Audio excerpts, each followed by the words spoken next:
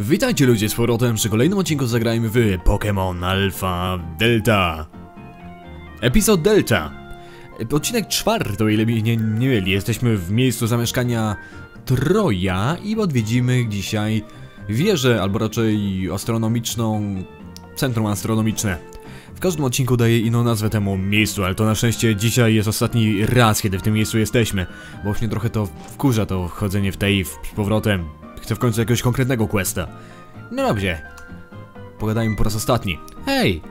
May, już na ciebie czekaliśmy. No co ty nie powiesz, czekali na mnie. Hmm. Amalia mówiła o rajskiej wieży. O rajskiej wieży, o wi- wieży niebios, ale wiecie o co chodzi. Będę nazwał to rajską wieżą teraz.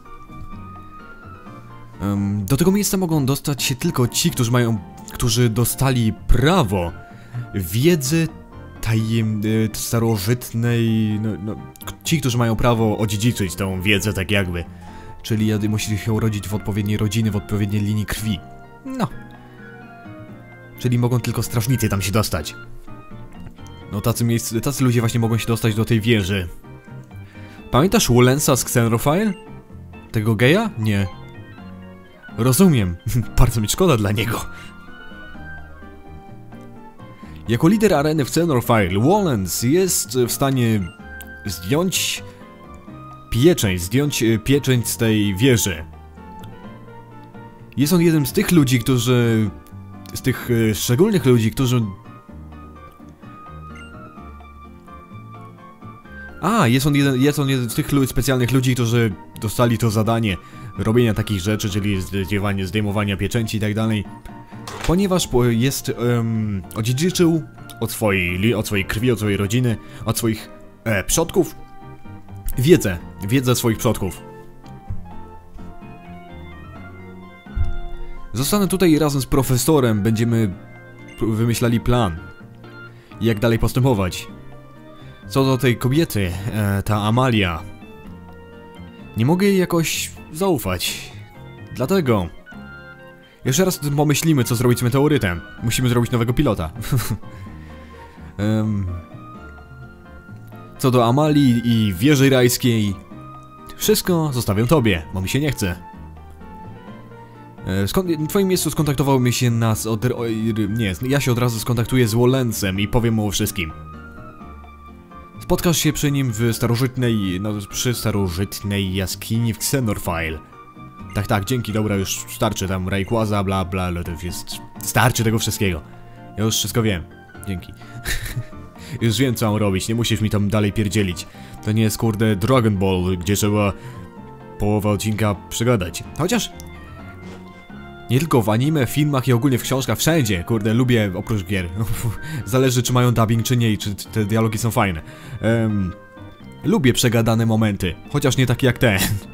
W Dragon Ballu to była przesada, ogólnie lubię przegadane momenty. Powiedzmy, tak, nie, tu. Nie mam nic do przegadania. Na przykład Władca Pierścieni 1 jest moją ulubioną częścią. Bo jest taki spokojny, tyle jest gadania i tak dalej. Ja lubię jak gadają. Chyba, że gadają od rzeczy. Tak sobie ostatnio oglądałem taką jedną serię i pło, ten koleś tak odpierdzieli, tak... Jej, ja już myślałem, że ja gadam od rzeczy, a ten koleś to już... ale mnie głowa rozbolała. To już 18 odcinków tego z tej serii obejrzałem sobie, bo mnie zmusili. No, bolało. Bolało to później. Bolało. No ale dobra. Jakoś wytrzymałem. I żyję. Jestem teraz jeszcze silniejszy niż, silniejszy niż byłem. Mogę też tędy wjechać tam pod tą górkę, tą pagórek? Nie, nie, na pewno nie. Czy tutaj to... Nie. Tutaj oczywiście, że nie mogli zrobić, bo muszę przepływać... To jest największe gówno, jakie mogli zrobić. Dlaczego nie mogę... Muszę przepływać zawsze przez wodę, a nie mogę tutaj robić co innego? I dlaczego nie mogę wylądować po drugiej stronie? Dlaczego centrum jest po tej stronie, nie po tej stronie, po której muszę być? Dlaczego, dlaczego, dlaczego, dlaczego, dlaczego, dlaczego, dlaczego, dlaczego? Moje ulubione słowo najczęściej chyba wypowiadane w let's playach, kiedy nie wiem co robić. Ale ci twórcy chyba też sobie to wszystko inaczej wyobrażali. No cóż. Zależy wszystko od ich punktu widzenia. Eee, a, no tu jest skrócik, no to jesteśmy już na dobrej drodze. Patrzcie, teraz będzie tutaj taki skrót i chlub. No, jesteśmy. Tu będzie Wallace na nas czekał pewnie. O! Nasz model! Fan Fantastycznie. To była wspaniała historyjka. Historia. E, prawda? E, Nie mogę w to uwierzyć. Trudno, tru, trudno uwierzyć. Mm, że ten wysoki, że to wysokie drzewo, to, ten, to wysoko rosnące drzewo jest, e, jest więc prezentem od ogromnego faceta z Kalos? Czekaj. Antagonisty z, z szóstej generacji, czy co? Tylko jeden wysoki facet mi to właśnie przychodzi do głowy. Hmm. Twoja wiedza, em... Twoja wiedza coraz bardziej mnie zadziwia, tatusiu. Dziękuję. Chociaż nie wiem, czy to jest teraz jego ojciec, czy... E, tatusiu, czy tak po, jak mówi się dziaduniu, tak... Że po prostu tak, że jesteś trochę starszy. I tak się, i tak się mówi. Mm, haha, dość tych, e, te- tego lizania dupy Wallens. Ha! Ha, ha, ha. E, ha. Mm, Ty, tylko, tylko nie bądź, nie bądź przesadnie skromny. No więc... May! Witaj z powrotem jak e, w Xenorfile Championie. Troy już mi o wszystkim opowiedział, a więc chcesz się dostać do rajskiej wieży, co? E, no, no. Wejście, wejście do jaskini tam, em, wejście do jaskini tam na ty. No tam pe, pe, pe, wejście do jaskini, która prowadzi do, do tej wieży. Mm. Można tylko przez, można, z- ta. Może zostać, można się tam dostać tylko przy pomocy kogoś z, z ludu Xenare, Xenaranara. Albo, z, albo jako mete, meteoraner, meteorianin, no ta. Tak jak ta dziewczyna. Nasza antagonistka. Tak, tak, to tak, jaskinia, dobrze, hmm. Tak, Rayquaza tam jest oczywiście legendarny Pokémon, który jest strażnikiem nad regionem Hoenn. Mhm, mhm. Meteorianie, meteorianie wiedzą o jak Rayquaza, jak można go przywołać tam i tak dalej, ale to jest tajemnica. Od Troja słyszałem, że, że dziewczyna imieniem Amalia z jakiegoś powodu próbuje przywołać Rayquazę. Ale zanim będziemy tutaj tracili czas, najlepiej zabierzmy się w drogę do, do wieży. Mhm.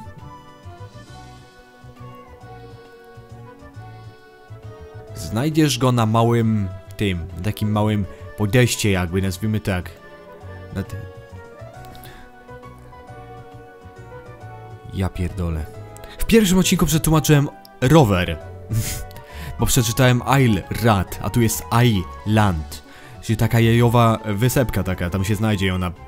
Znajduje się to nawet na rucie 131. Hmm. Czy ja naprawdę... Ja byłem zmęczony. Czemu przeczytałem... Czemu powiedziałem rower? Dobra, to w kontekście nie miało większego tego, bo może, mo, może mogło trafić rower, kiedy spada ten meteoryt, ale... No cóż. Em. Przyjdź wtedy, kiedy będziesz przygotowana. A czemu nie możesz mnie zateleportować tam tym małej gnoju, bo ja muszę z buta tam iść, tak? To jest dopiero... Pierogi. To jest dopiero porąbane. No ale dobra, ja się z tym jakoś pogodzę i będę to akceptował. O ja się jeszcze nie mogę doczekać. Mam tam z tyłu za sobą na parapecie takiego Mikołaja czekoladowego, już się nie mogę doczekać się na egzekucję. Jo, czekaj, rajska wieża jest tu. Tu, tu, tu, tu, tu. Tutaj, dokładnie tu, tu, tu, tu. Ty, tutaj. Ale tu nie mogę wylądować. O, tu mogę wylądować. Na 103, ruta 131, no ładnie, tutaj mogę wylądować, to jest dobrze, czyli jesteśmy na dobrym miejscu. I odtąd będziemy mogli za chwilę polecieć dalej, znaczy popłynąć tym razem, bo już nie będziemy letali, ale już jesteśmy blisko, już myślałem, że trochę dłużej będzie trwało to szukanie. Nie musimy wypłynąć tu. Jak dobrze, że nasze Pokémony potrafią pływać, bo gdyby nie potrafiły, byłoby trochę nędznie. Żałośnie i w ogóle, a patrzcie, tutaj taki fajny otwór i jo! To jest dopiero... Niesamowite. Aż dupa się cieszy. No zobaczmy. Młody czarodzieju, pokaż mi, co potrafisz. Co mi na drodze stoisz? A, jesteś już May. Popatrz, jestem wyższy od wejścia. Jak już widzisz, zdjąłem pieczęć z tego miejsca. E, Droga nie jest już zamknięta. mm, teraz powinno prowadzić do twojego celu. To, była, to by była pierwsza sprawa. Ale, ale nie mogę cię tutaj przepuścić, jeżeli nie przejdziesz przez y, test. Przetestowanie ciebie jest jednym z moich zadań jako ksen, ksenarer, kseranener. To jest też taki... Taka grupa ludzi, taki... Taka powiedzmy rodzina, taki ród. Mhm. To zadanie dostałem kiedyś od mojego mentora. Chcę, żebyś ze mną walczyła. Przeciwko mnie. Teraz, tu, tu i teraz. Udowodnij mi... Um, udowodnij mi teraz twojej aktualnej sile. Udowodnij mi, że potrafisz przejść przez tą drogę. Co myślisz? Jesteś gotowa? Tak, ale już z tobą walczyłem raz. E, Jako czampion e, powinien twój styl być walki być elegancki jak taniec. Em, które, który nie jest e, przez żadne inne Pokemony, który nie jest przez żadne inne la, la, przedstawiany sobą, tak jakby w całym regionie. No więc dobrze, pokaż mi swoją prawdziwą siłę. No tak, już, ale już pokonałem raz ciebie. Czy teraz będziesz walczył na serio? Twoje Pokemony będą silniejsze? Na pewno. Ale matkowodne Pokemony, więc to będzie jeszcze... No powiedzmy, że to będzie łatwe. To będzie tylko woda. Patrzcie tutaj. Same gnioty. Się mu przepierdzieli tak parę razy bombami będzie po nim. Pamiętacie jak szybko załatwiliśmy jego arenę? Teraz też jesteśmy nieco silniejsi, jesteśmy czempionem. Swoją drogą byłoby trochę żałosne, gdybyś- gdybyśmy teraz tutaj przegrali jako czempion, to on by był od razu czempionem. A więc tak się zdarzył sm- ten Emerald, bo w Emeraldach to e, Wallens był czempionem. Nie będę tutaj niczego zmieniał, bo Leia może tutaj wszystkich rozpierdzielić. Obojętnie jaki poziom, więc po co mam z tego rezygnować? Elektrycznego Pokemona też nie mam, więc jedyną nadzieją na razie jest Leia i jakoś dobrze sobie radzi. A przecież to Obi-Wan Kenobi był ostatnią nadzieją, a nie księżniczka Leia. Ha, jak to ciekawie może się wszystko złożyć. Hmm, Enis też leveluje, leveluje. Ale jak Enis, już to mówiłem, ale jak Enis wszystkich ładnie dogoniła. O, ten to co? Enis i um, Kanadę wszystkich ładnie dogonili. To jest piękne. To mi się bardzo podoba, bo nie po powiedziałbym, że nie jest. Nie powiedziałbym, nie, nie śmiałbym powiedzieć, że nie jestem zadowolony. Ale to kurczę, ten Wallens też nie robi sobie zbyt wiele z policji, tak mi się wydaje. Widzicie, jak on się tutaj zachowuje? Jak idiota. Normalnie, to jest dziwne już, jak on się tu zachowuje. Nagle wyzywa nas do walki, bo, już raz go pokonaliśmy, ale jeszcze raz musimy udowodnić. On po prostu chciał nas sprawić. Metagross, kurde, wszyscy tutaj w tej walce dostają level upy. Kapalores! No teraz to kurczę sam nie wiem, czy to byłoby takie dobre, ale spróbujmy. Na tym Pokemonie nie wiem, czy to zadziała. Nie, nie, oczywiście, że nie zadziała. Dobra, Leja, możesz... e, Dobranoc. Leja, dobranoc. Dobranoc, Leja. No to niestety sobie ktoś inny musi z tym poradzić. Enis oczywiście nie, bo to woda. Hmm. Wermut? Powiedzmy, że Wermut sobie poławi się teraz.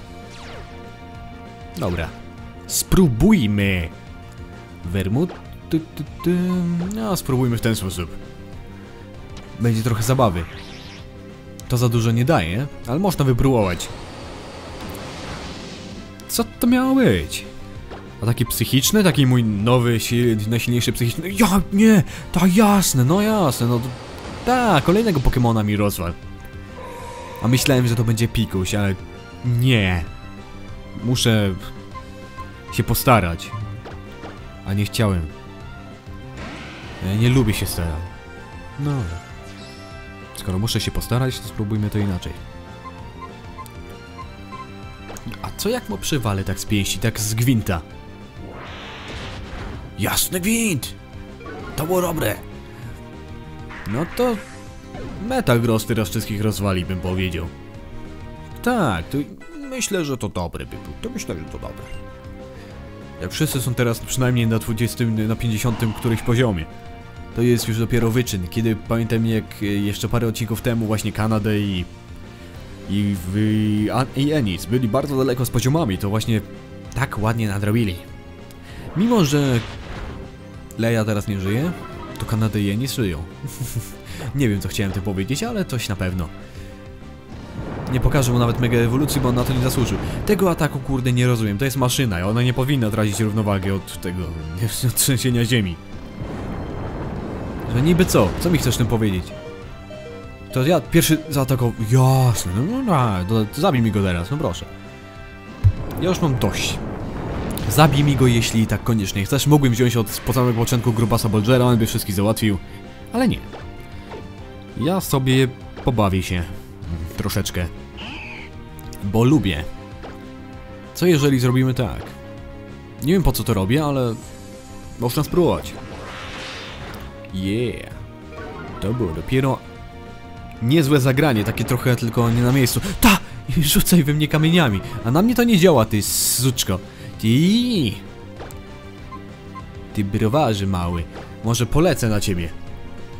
Ciekawe co na to powiedzą. Bo zostały jeszcze dwa Pokémony, znaczy ten tutaj i jeszcze jeden po tym powinien być. Chyba, że los się do mnie uśmiechnie i nie będę musiał walczyć jeszcze żadnym innym. Że to będzie teraz koniec. Też może być. Gyarados. On nie miał Gyaradosa w... na arenie. Teraz ma chyba 6 poków. To ładnie, to ja zrobię tak. Tego znasz? Znasz tego? Tutaj, popatrz. To jest ten, taki fajny. Zaraz zobaczysz jak to działa. Mam tutaj taką obrączkę i sobie tutaj ją kliknę. I popatrz, kurde, super high technik, taka technika. Normalnie zarąbistość i popatrz tutaj. Piórka urosły. To jest, to, I to nie tylko, uważaj, patrz teraz, to, to nie tylko tak wygląda, ale to też, zaraz zobaczysz, to nie tylko jest ozdóbka, to też pokazuje coś więcej. To patrz tutaj, teraz zostaniesz i chlub. Widzisz to, to, to też coś daje, nie? To czujesz to, poczułeś to. A co jeżeli zrobię tak? Ty się nie waż mnie gryźć. Nie? Nie, nie, tego tak... Jacek przypadek? Mam nadzieję, że jesteś po mojej stronie w tym roku. Przynajmniej teraz pod koniec, kiedy ten rok się kończy. To Jacek przypadek by się przydał. Jasne! LOL! Dobra. Ciekawe jak jest, jak, to wyglądało. Spróbuję. On teraz cały czas gryz, to może mi się uda. Ciekawie by to wyglądało, gdyby... A, szkoda. No nie, akurat teraz musiałeś użyć wodnego ataku, prawda? Akurat teraz musiał użyć tego... Chciałem... Byłoby zabawnie, gdyby to ognisty Pokémon rozwalił wodnego, ale no cóż, chodzi na to, że wodny przeciwko wodnym. Tak jak zawsze to wyglądało. Tak jak od wie- jak od wieku się wszystko kończyło. A wodny nie użyje wodnego ataku, tylko rzuci kamieniem w rybę i wtedy ryba umiera. No, powiedziałem przecież, że to tak się skończy. Tylko przez to, że się trochę z nimi bawiłem, od razu mogłem leje ożywić, to by szybciej to się skończyło, ale no cóż, ja lubiłem się bawić i spierdzieliłem sprawę. Ta przestań się tutaj wygi wy wyginać, tutaj te twoje wygibasy są niepotrzebne. Nic innego nie oczekiwałem, May. Jesteś e, niesamowitym trenerem Pokémonów. Pokémony, które, które do walki e, rzucasz, wybierasz. Hmm. Są jak, są jak tańczą, s- tańczą jakby na lekkich stopach, no, żeby zmienić, żeby, E? żeby przeprawić swoich przeciwników w świeży, wiosenny wiatr? Cię pojebało, czy coś? Ty jesteś normalnie porąbany, ja cię już nigdy więcej mam nadzieję nie widzieć, bo ja nie, nie lubię go. To jest taki żul. Um, nie, chcę się, nie chce mi się go słuchać, wybaczcie, on gada teraz głupoty. Jedyne co musimy wiedzieć, to że musimy dojść teraz tam na górę. Bo on jest taki, to jest, to jest taka kiełbasa z niego, to jest taki kiełbasiator, to jest, jak się go widzi, to już wiadomo, że ten dzień nie może być gorszy. To jest właśnie jeden z takich ludzi, na których nie chcesz widzieć. Kiedy to, to tacy, których widzisz jak przychodzisz na, przychodzą na imprezę i widzisz, to już myślisz, że ja, dobra, dzisiaj idę wcześniej do domu. To jest właśnie taki koleś. Ło, ja nie mogę, to jest dopiero zajebiste. Ale oczywiście, że mnie nie uleczy, nie? No, jasne, że mnie nie uleczy Pokémonów, bo, bo dlaczego? Po co? Tak, nie, nie, nie, po co uleczyć Pokémonów? To jest dopiero przesądne. Zapisałem już, nie? Dobra. Obojętnie. To jest rajska wieża. A, jesteś już! Pięknie! P- dziękuję, że przyszłaś. jesteś dobra, May, naprawdę jesteś, jest to yy, nadzwyczajne. Zaskakujące. godne podziwu. I wiesz co? Tak mnie przekonałaś, że chcę ci coś dać w prezencie. Coś, co przetrzymywałem długi czas. Czyli? Spójrzmy razem na, to, na ten obraz na tamtej ścianie. Mm. Opowiada historię e, ludzi, Pokemonów i natury.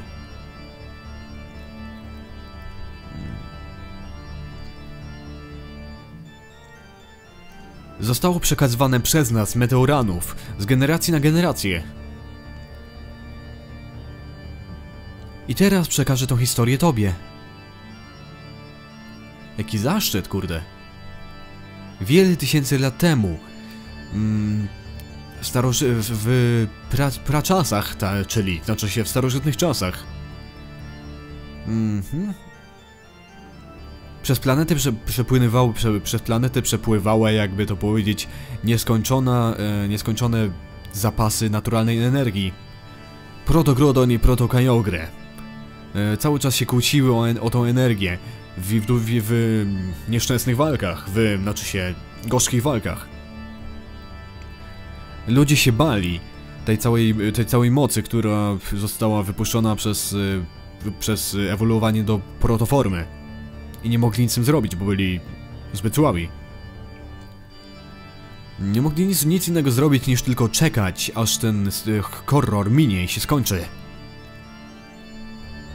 W tym samym czasie, em, ciemnościach, w tym samym czasie w ciemnościach kosmosu, daleko nad e, chmurami, spadało, e, wiele meteorytów spadało na planetę. Uderzył w wodospady w okolicy, gdzie żył lud, który trenował em, smocze Pokemony. Hmm. No, na razie skarczę. To był rozdział pierwszy naszej historii. Na razie zróbmy sobie przerwie. Rozdział drugi dostaniesz, kiedy em, będziemy na, na następnym e, piętrze. Możesz się już na to cieszyć. Czyli teraz będziemy wchodzili na każde piętro i będzie kurde cały czas rozdział jakiś nowy. No to ciekawe. Co oni zrobili tutaj z tą jaskinią? No jaskinią, tak. Pojebało go. Z tą wieżą, co oni z tą wieżą zrobiło już całkowicie? Jest znacznie większa niż była w oryginale. To jest jasne i chyba jest też, w, no ogólnie, wyższa. Ma więcej pięter, tak mi się wydaje. A może to po prostu grafika tak wygląda. Ogólnie są tu jakieś Pokemony, tak, to jest oczywiście jasne. A, patrzcie. Smocza skóra, to jest dopiero pewnie jakiś item, ale no jeszcze nie. Bo tutaj nie przejdę, to muszę znowu z drugiej strony, ale to ciekawe, to ciekawe.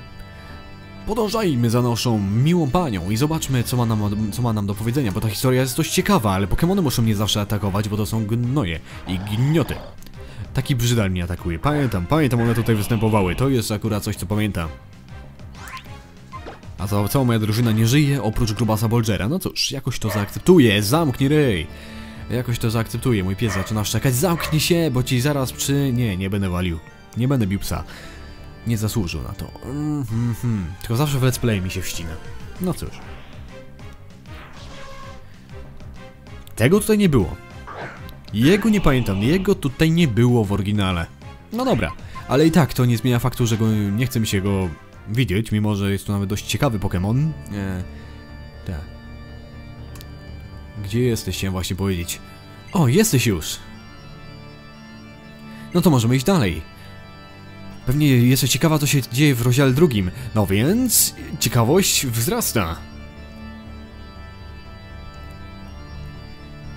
Meteoryty świeciły się w różnych kolorach, e, w różnych kolorach tęczy, e, kiedy się, kiedy przeży, przechodziły do życia, albo się, kiedy ożywały. W końcu e, szmaragdowo-zielone światło pojawiło się, szmaragdowo-zielone światło pojawi, znaczy Pokémon, który był w takim, owinięty w takie szmaragdowo-zielone światło, zszedł z tej mm, wieży tutaj. To było jakby światło meteorytów go przyciągało. Ten Pokémon to był Rayquaza. Rayquaza zmusił Pokémony, które, żeby one mimo, znaczy zmusił Pokémony, które mimo swojej protoformy e, zmusił je na, ich na kolana. I tak przywrócił spokój na planecie. Mm. Mieszkańcy regionu Hoenn nazywali Rayquazę wte, od, od wtedy ra- tym, który uratował świat. Bohaterem. Wtedy, tysiąc lat później, e, spadł kolejny meteoryt e, na naszą planetę. Był znacznie większy i zrobił o wiele większe, większą dziurę w, w morzu, tak. Ten gigantyczny, ten gigantyczny krater mm, miał się później nazywać Xenorfile. A, czyli ten, to miasto jest ogólnie kraterem. No, ciekawe. Więc, no więc, to była druga część tego rozdziału. Resztę, żeby usłyszeć resztę, musisz iść za mną. Dobra, idę za to. To mnie ciekawi teraz. Co mi jeszcze powiesz? Ciap, ciap, ciap, ciap. Gdzie jesteś teraz? Chodź tu, chodź. Ciekawe ile rozdziałów jeszcze będzie. No dobrze, jesteśmy na najwyższym miejscu naszej opowieści. No dobrze, gdzie byliśmy? A no tak, meteoryt, który stworzył Xenorfile. Po uderzeniu meteorytu, em, starożytna, starożytne niebezpieczeństwo odwiedziło ludzi. Em, to, to uderzenie stworzyło, stworzyło takie rysy w, w ziemi Hoenn. Mm, z ziemi Hoenn, w której, z której naturalna energia się pojawiała i była zapisana głęboko w ziemi. Ta energia obudziła Protogrodona i Protokajogrę znowu ze swojego snu. Mm. Ludzie chcieli, ludzie tęsknili za swoim, chcieli widzieć, tęsknili za swoim bohaterem, który ich uratował ostatnio. Za swoim ratującym, który mm, przypominając sobie wy- wydarzenia sprzed e, tysiąca lat. Kiedy, znaczy przypomnieli sobie to, kiedy pojawił się znowu ten szmaragdowo-zielonym światłem owinięty Pokémon. Ale wtedy stało się. Meteoryt. E, meteoryt, który stworzył dzisiejszy Xenorfile. Em, zaczął. Ty, ty, ty, zaczął wy. zaczął promieniować w różne farby. Wygl to wyglądało to jakby, jakby był to ogromny kluczowy, kluczowy kamień. Kamień kluczowy. Albo kamienny klucz. Hmm. I po raz kolejny Rayquaza wystrzelił w niebo. Rayquaza usłyszał, usłyszał płacze i błagania o ludzi którzy byli, którzy byli wdzięczni za to, co jest, za, za jego nadzieję, znaczy za nadzieję, którą im dał ten Pokémon. Potem Rayquaza się zmienił. E, e, zniknął w jasnym świetle i... I wyszedł, e, I wyszedł wtedy w formie, której żaden człowiek wcześniej nie widział.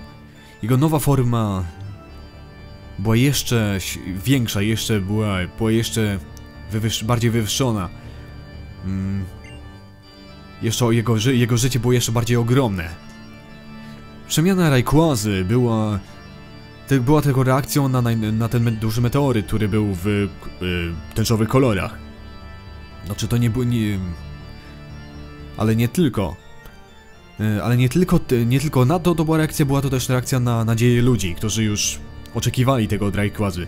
Nadzieja,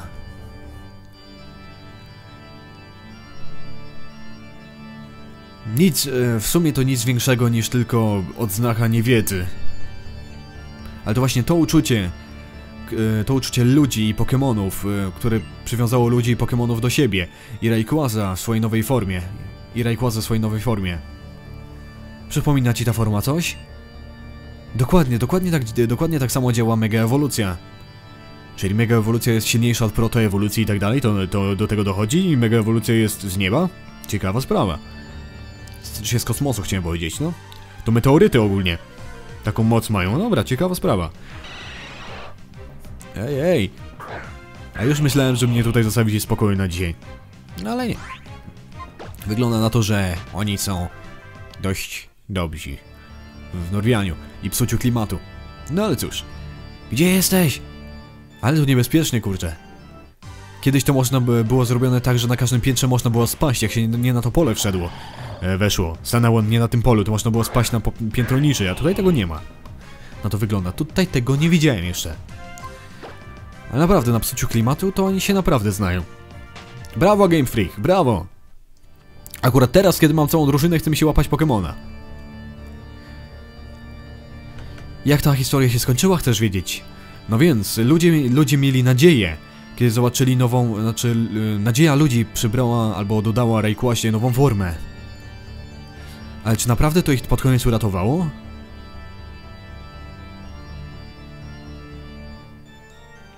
Rayquaza znowu miał, się stan miał stanąć przeciwko Protogrodonowi i, i Protokajogre. Kiedy jego złoto, złoto kiedy, kiedy jego śniąca broda mm, nad, nad niebem się wniosła i smarag, szmaragdowe światło się zaczęło, no, zaczęło świecić, się pojawiło.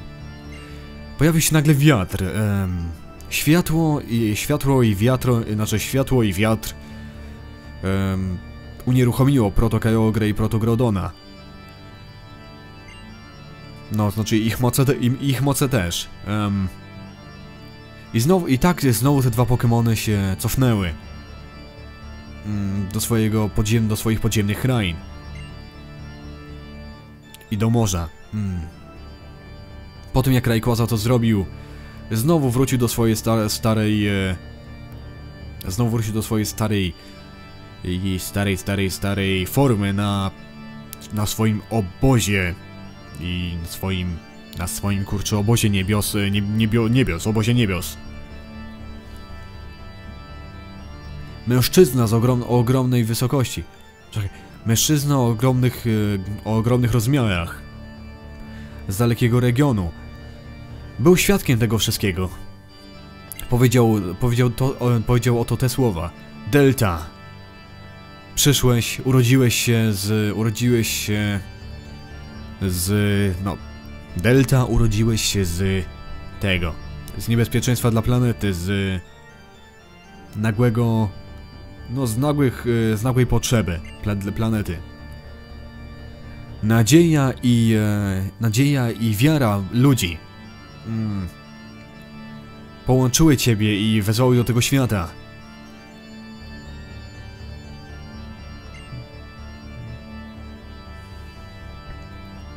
Ich krzyki cię, jakby to powiedzieć, przyzwały. Ta rozpacz cię przyzwała. Tak się stało, że, meto, że meteorianie mm, zbudowali ogromną og, zbudowali ogromną wieżę. Żeby być bliżej swojemu ratu, ratującemu no, bohaterowi, żeby być bliżej swojemu bohaterowi. To, była, to był ich sposób, em, żeby, żeby uczcić Rayquazę i jego, mm, i jego i, znaczy Rayquaza i ten świecący się na tęczowe kolory farby, tęczowe kolory kamień. Czyli źródło jego mocy.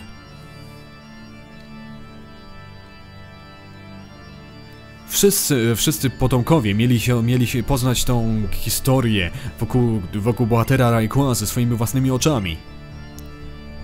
Z tego powodu właśnie poznały, zostały stworzone te obrazy tutaj. No to ciekawe. Ogromna wieża z obrazami na ścianie, opowiadającą historię Hoenn.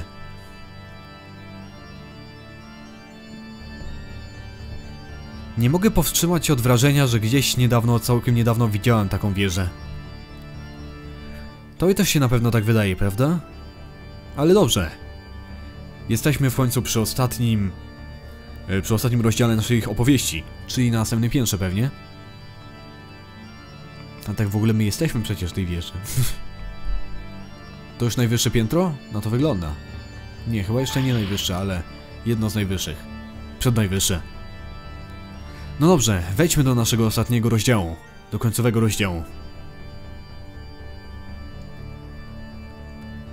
Mijały tysiące lat, e, znaczy minęło tysiąc lat pokoju.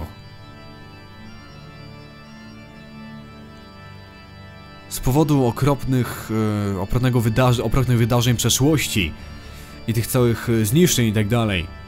Meteoranowie, którzy... em, Domyśl, domyślili się meteoranowie, że kiedyś jeszcze, albo raczej całkiem niedługo, meteoryt e, zaatakuje planetę albo spadnie na planetę. Przepowiedzieli, że meteoryt będzie podwójny, dwa razy taki duży jak ten, który uderzył ostatnim razem. Że, że zniszczy całą planetę.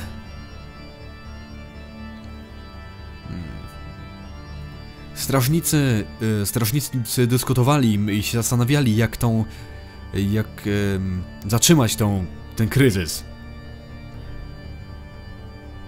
Widzieli tylko jeden, jeden, jedno jedyne rozwiązanie. Rayquaza, ich, em, ich ratunek. Musi zostać, zostać przyzwany. e, Przyzwany zanim e, meteoryt zostanie uderzony, znaczy zanim uderzy mete, meteoryt. I to było wszystko. To jest koniec tej historii o meteoranach. Długo się zastanawiałem nad tym, mm, jak, szczę jak szczęśliwie wszystkich, e, wszystkich obronić. Mam moc Mam moc i wiedzę, ale... żeby to zrobić, ale...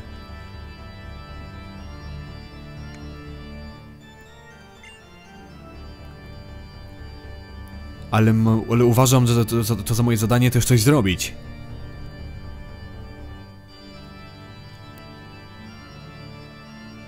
Mm.